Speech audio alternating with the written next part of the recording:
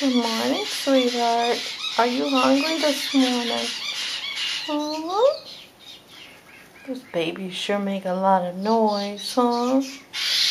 You would be asleep if they weren't making all that noise, wouldn't you? Huh?